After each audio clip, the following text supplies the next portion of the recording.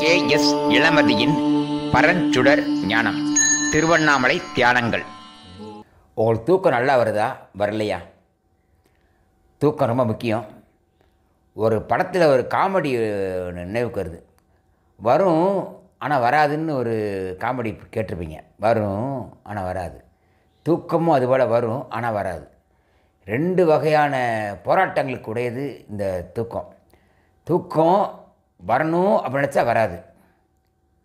தூங்கக்கூடாதுன்னு நினச்சா தூக்கம் வரும். இதுதான் தூக்கத்தினுடைய இயல்பு.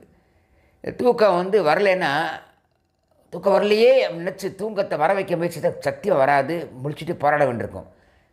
ஒரு நாள் தூக்கம் இல்லை. சில கால சில பல காரணங்களால் தூக்கம் வராமல் போயிடும் அதுக்காக இத்தனை நாள் தூங்கணும் இல்லையா? அதை மறந்துடும் தப்பு.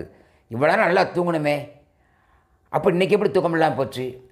நல்லா தூங்கினதை எண்ணி பாருங்கள் நீங்கள் ஏற்படுத்துகிறதில்ல தூக்கம் உங்களுக்குள்ளே இறைவன் தரக்கூடிய தூக்கம்.